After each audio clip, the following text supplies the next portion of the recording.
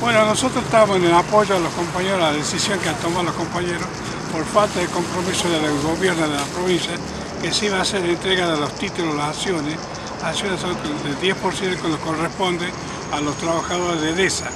Hasta la fecha, de hace 14 años, no se implementó nada, entonces los compañeros de Orán han tomado esa decisión de tomar las oficinas de EDESA en la parte de cobranza. Entonces en este momento nosotros también estamos acá en apoyo a los compañeros para que sepa el gobierno que también aquí somos 400.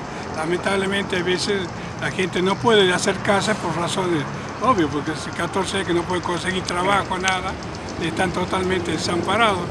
Y así lo manifestan ellos, nosotros como representantes, en el caso mío, de 400 compañeros aquí en Salta Capital, así que nosotros esta tarde estamos viajando hacia la ciudad de Orán para apoyar a los compañeros allá. ¿Tuvieron alguna respuesta allá en Orán? No, no, creo que hoy lo recibía un juez allá en Orán para ver, porque ellos están tomando una medida drástica. Ellos están ya en este momento con la familia, todo, y han tomado la decisión con los bidones de nata. Entonces eso nos preocupa a nosotros de acá en Salta Capital.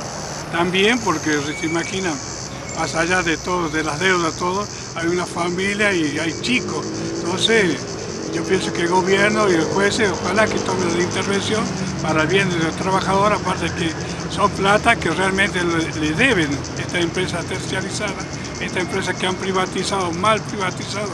Lo que tendría que hacer el gobierno es meter preso a esta gente que han regalado a esta empresa, porque esta es una empresa de la gallina de oro.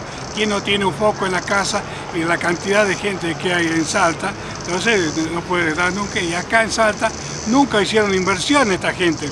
Todavía se hace de desconocer que nunca hemos sido empleados de ESA, tenemos los recibos, todos no somos ningunos locos, simplemente estamos defendiendo nuestros derechos que nos corresponden, así que aparte tenemos muchos compañeros más de 20 años de servicio aportados en la provincia. Si nosotros seguimos así nunca nos vamos a poder jubilar.